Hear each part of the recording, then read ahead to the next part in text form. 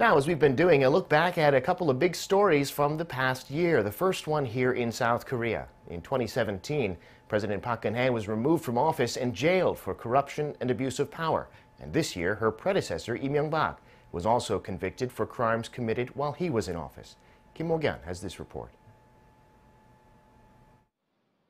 2018 saw another former South Korean leader sentenced to jail time. Former conservative President Lee Myung-bak, who ruled the country from 2008 to 2013, was sentenced to 15 years in prison for corruption charges, becoming the fourth former president to be put behind bars. The court found Lee guilty of 7 out of 16 charges against him. The 77-year-old was convicted of accepting some 13 million US dollars in bribes from some of the nation's biggest companies and state agencies, including tech giant Samsung Electronics and the National Intelligence Service. The court found that Lee had received over $5 million from Samsung in the form of legal fees for a lawsuit in the U.S. The verdict said the retainer was paid in exchange for a presidential pardon for Samsung chairman Lee Kun-hee, who was under investigation for tax evasion.